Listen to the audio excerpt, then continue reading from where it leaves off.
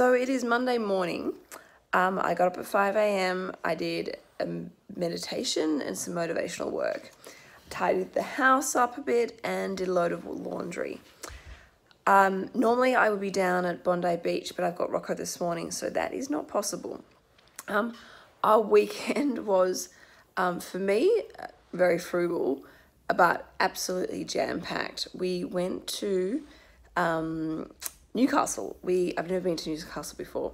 We got up at four thirty in the morning. I packed heaps of snacks in the car for Rocco so he wouldn't get hungry, but I forgot to pack snacks for Tom and myself. So we spent I spent fifteen dollars on because we had to pull into a service station, which is the most expensive place to buy snacks. I think I bought a banana, two bottles of water because I forgot to put water for us, and um, two like tiny little chocolate things, and it was like fifteen dollars. Um, we went caught up with Tom's family, which was so nice. Um, and then we went to the Hunter Valley to celebrate our friends um, who've just got engaged. And um, they have these beautiful horses um, on their property. So we got to, Rocco got to um, go for a horse ride, which was gorgeous, and um, pick pears and feed to the horses. It was so much fun. Um, we drove back to Sydney um, on like sort of late afternoon, um, early evening on Saturday.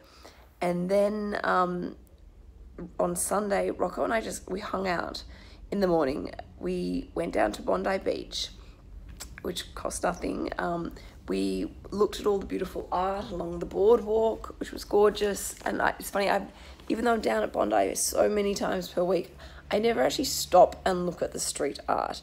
And along the promenade, there's there are so many amazing paintings of local artists that get changed regularly. And it was actually Rocco that pointed the art out because he was like, "Oh, look at the um, paper origami birds; they were really cool." Um, I also took Rocco to um, the skateboarding rank just to watch um, the other kids, and he was in awe of these incredible skateboarders and like how high they were getting and all the tricks that they were turning. It was just incredible. We went and got some a juice which was um, i think a waste of money. Um, i got a juice for myself which was basically mainly ice um, and not that tasty. Rocco got a beautiful um, berry juice which actually was really nice um, and i got some protein balls um, which are i'm obsessed with they're so good um, i don't think they're that healthy but um, that was pretty much all the money we spent um, this weekend, um, not much at all. So I actually have quite a bit of money left over from my budget allocation.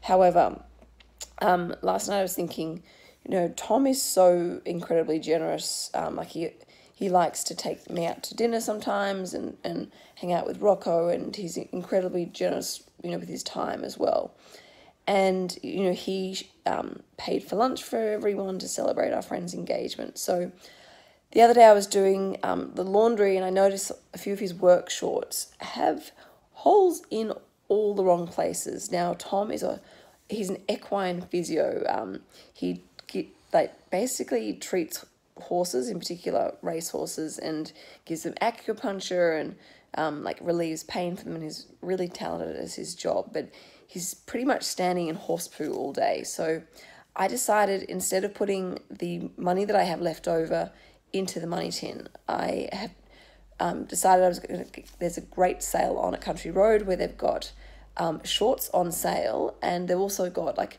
you spend a certain amount of money, you get a certain amount off, and it's a really good value deal. So this morning I, um, you know, jumped online and picked up a couple of pairs of new work shorts for Tom.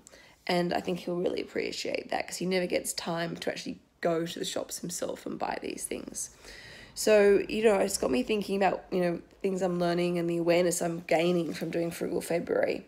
And, you know, from buying Rocco some new clothes the other day and, you know, a gift for Tom's sister in law, sister in law's baby, I realized I'm happy to be frugal to myself if it means that there's money left over that I can um, use to do nice things um, for the people that I love. And um, I am 37 years old. I can't believe it's taken me that long to figure it out, but I now understand this from doing Frugal February. Well, I had better get Rocco some breakfast. I am on Channel 9's Today Extra this morning, so I've got to go and prepare for what I am talking about on the segment with Sonia Kruger and David Campbell. But um, I hope everyone had a great weekend and happy Monday, everyone.